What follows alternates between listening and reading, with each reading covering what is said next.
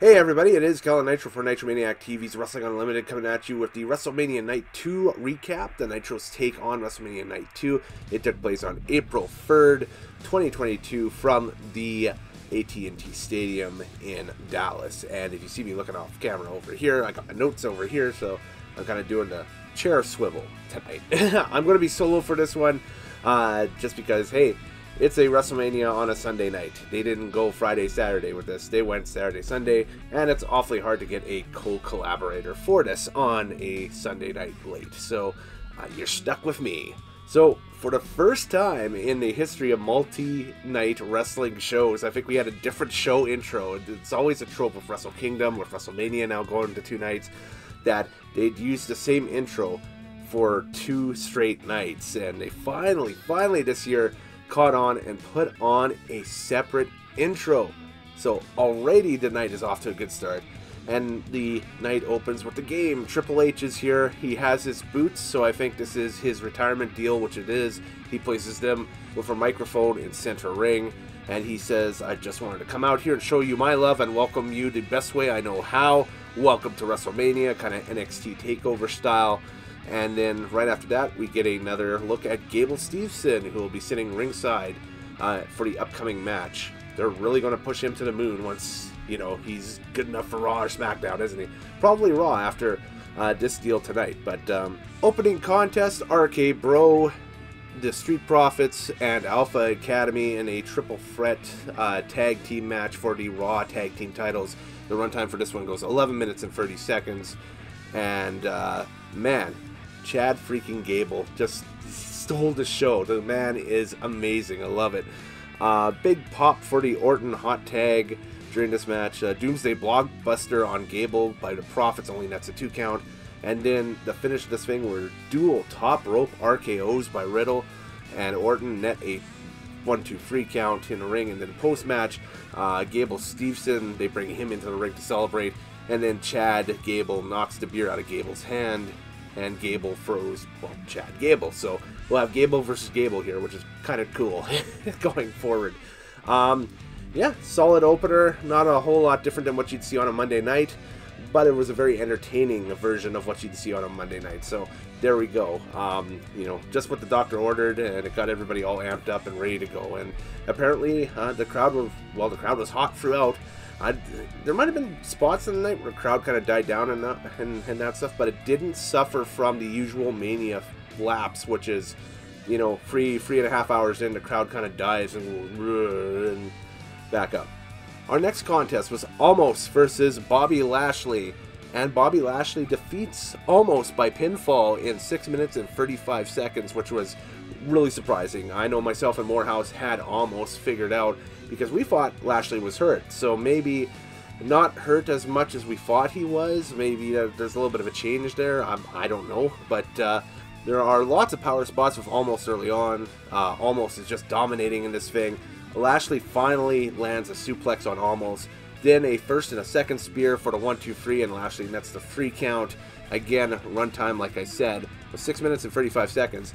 And it doesn't look like Lashley's that hurt. Um, you know, if, if he is, and this is a a really interesting way to send him off into uh, a period of time where he's not going to be, I guess, on WWE TV or so on and so forth. But um, he looked like he's going to be jumping back on Raw sooner rather than later. So uh, I guess whatever the injury was, um, either kayfabe or not as severe as one might think it was.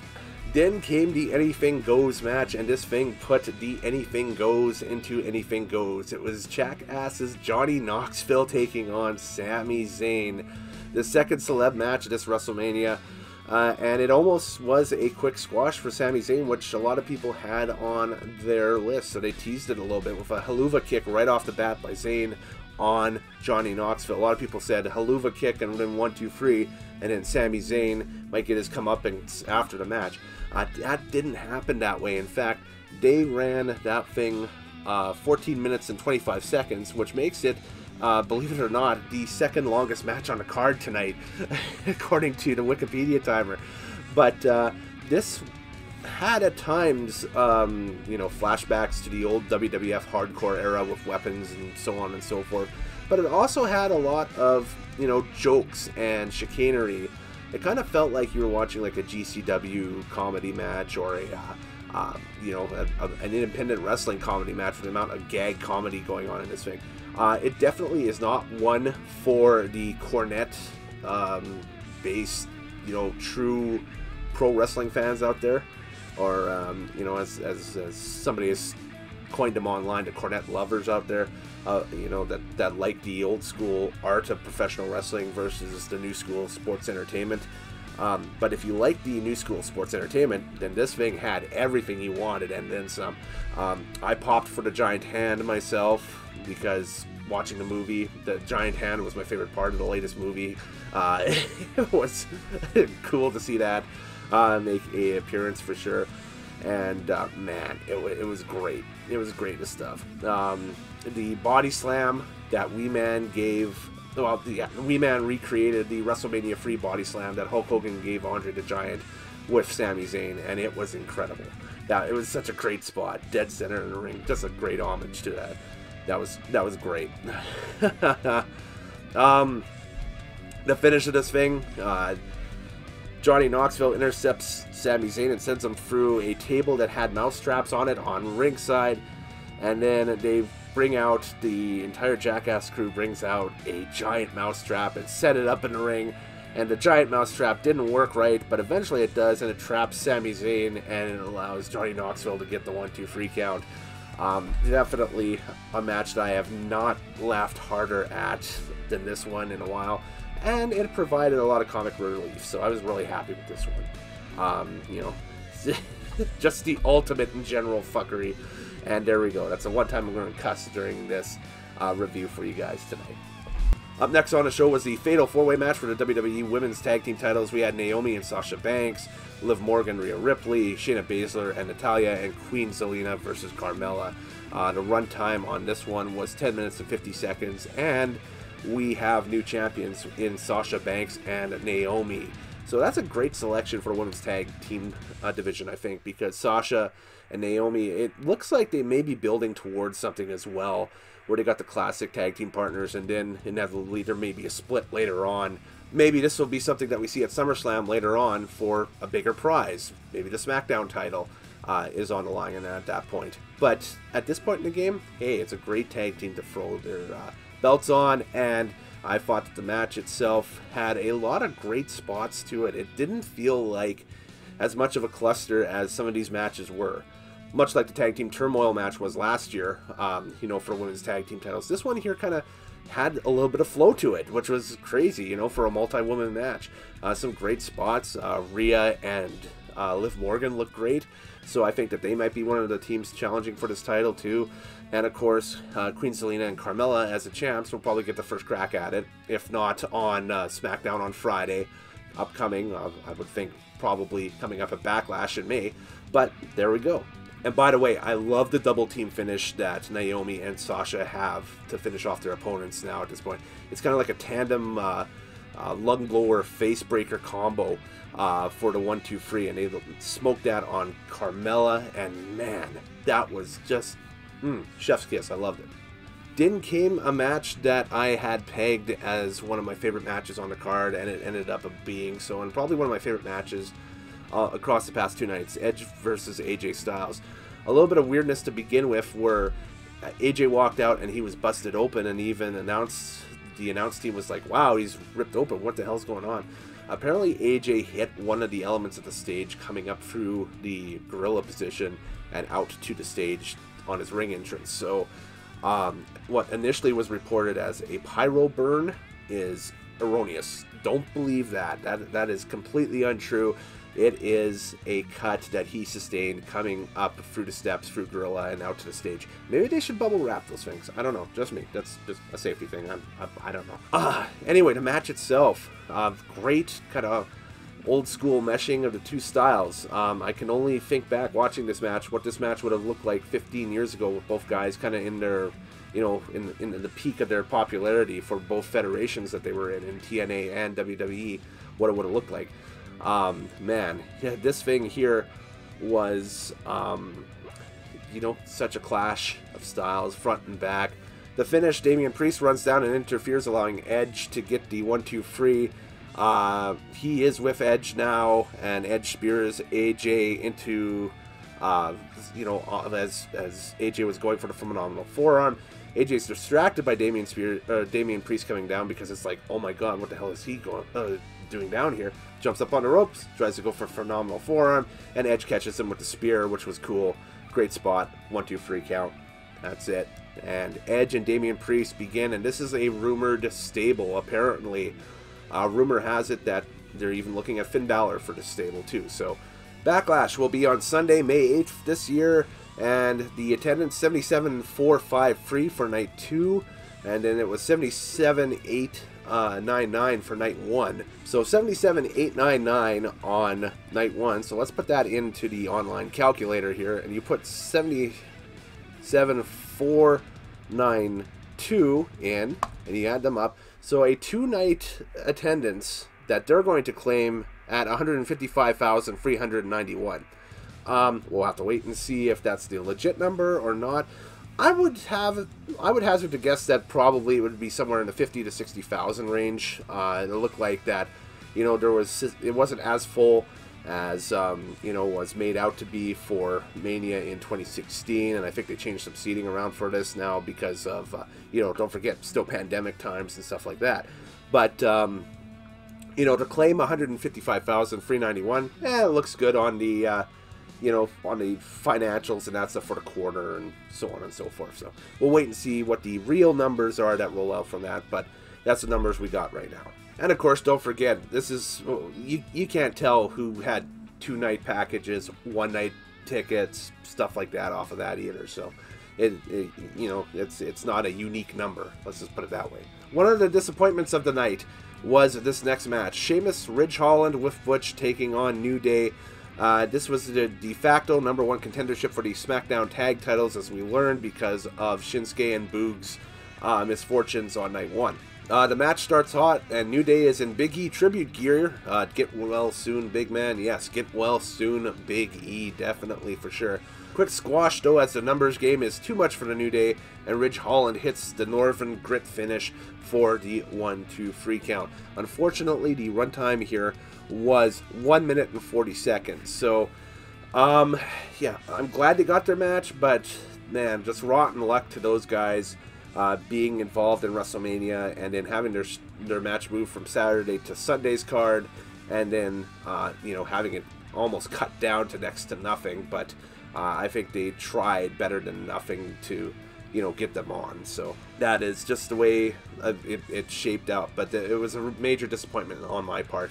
Uh, I would have loved to see them, you know, do a five minute thing at least. The Hall of Fame class gets another mention, and The Undertaker is imminent. He comes out and salutes the crowd again one more time. And then comes another match I was looking forward to tonight Pat McAfee versus Austin Fury. Mr. McMahon is afoot. He comes out, introduces Austin Theory. And Pat McAfee is using Seven Nation Army by the White Stripes as his entrance music. I love it. The runtime for this match was 9 minutes and 40 seconds. And the finish for this thing was uh, Fury goes for the A Town down, but McAfee counters it into a small package for the 1 2 free count.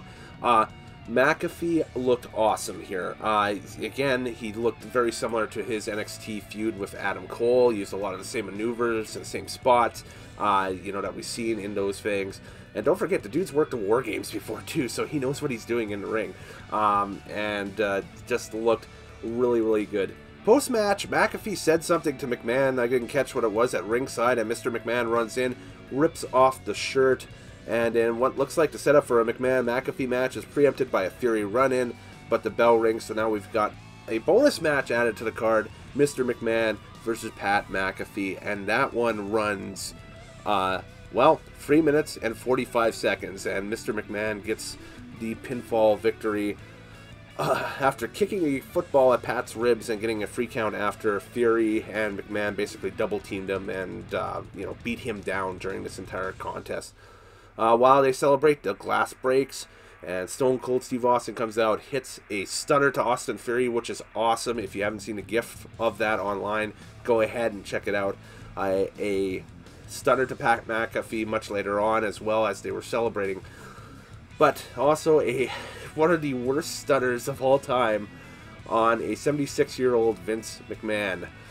Um, Vince, maybe now is the time to say, dude, um, no more stunners.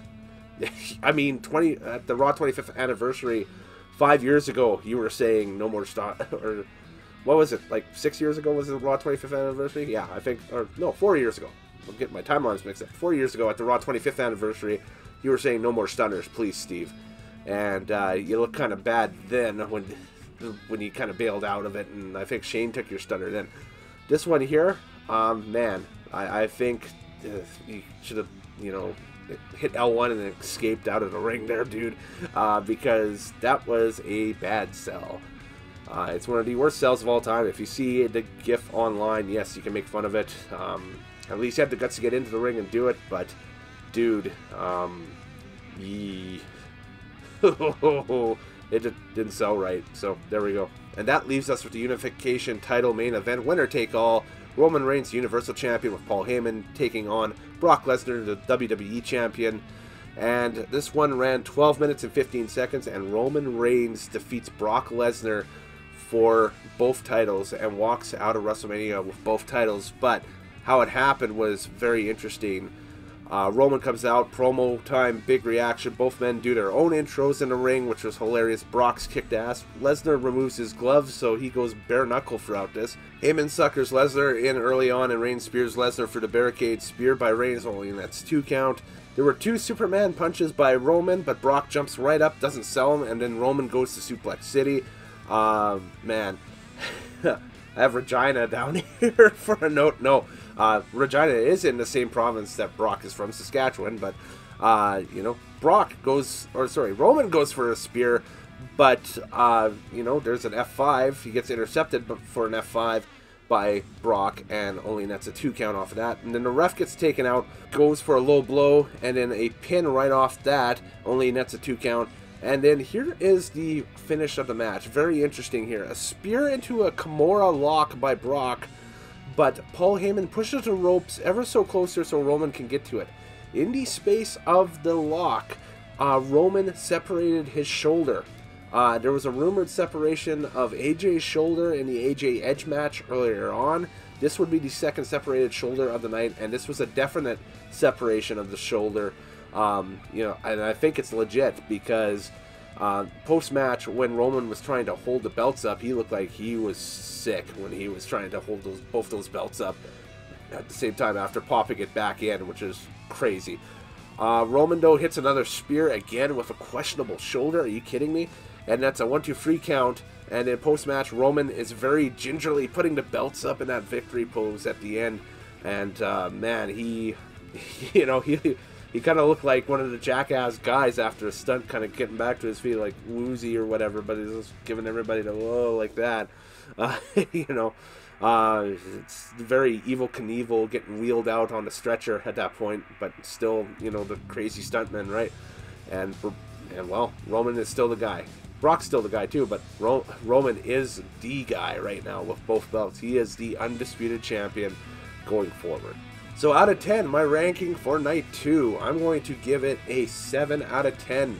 So that leaves 7 out of 10 on night 1, 7 out of 10 on night 2. So the whole pay-per-view gets 7 out of 10 for me. Uh, I think that this was one of the better manias of the past decade. Uh, definitely, you know, something over the last five years or so, uh, since 2019, this was the best WrestleMania that we've seen. Uh, you know, 2020 was trash, so you can garbage it and throw it away. 2021, night one was really good, but night two suffered big time. Uh, this one kind of suffered the same way. I, I rank uh, night one just above night two a little bit in quality, but this one wasn't far off of night one in my opinion.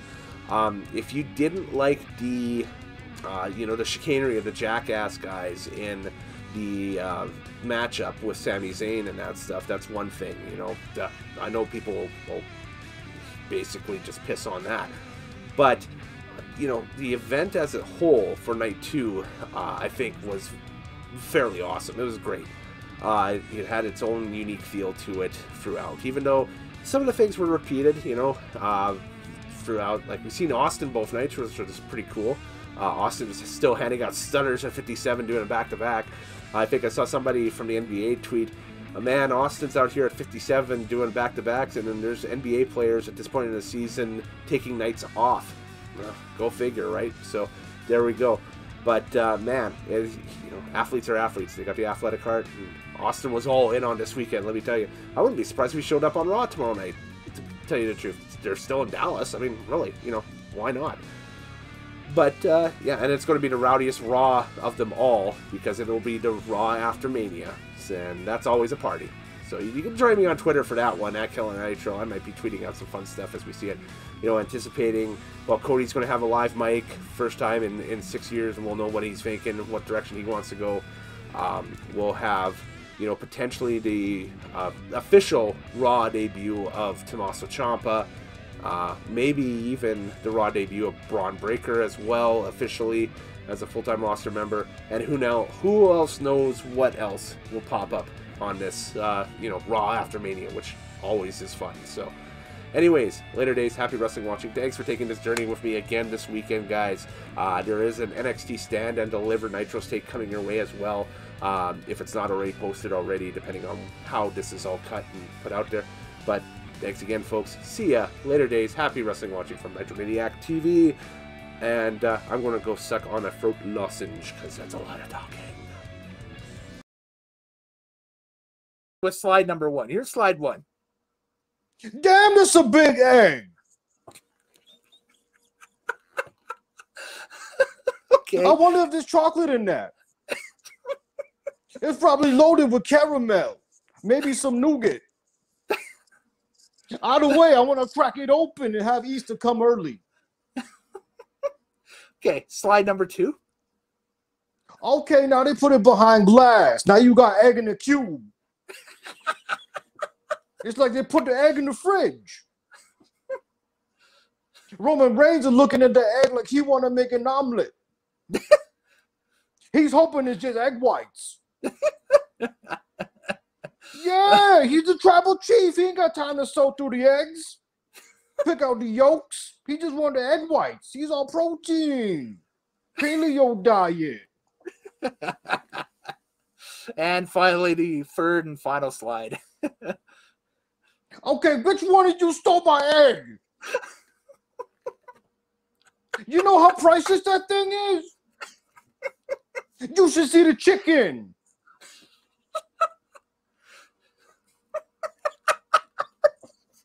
The egg came from the peacock. It all makes sense. You didn't know that? WWE's on a peacock, and now I got this pretty looking egg. That's a peacock egg. Eh? You didn't know that?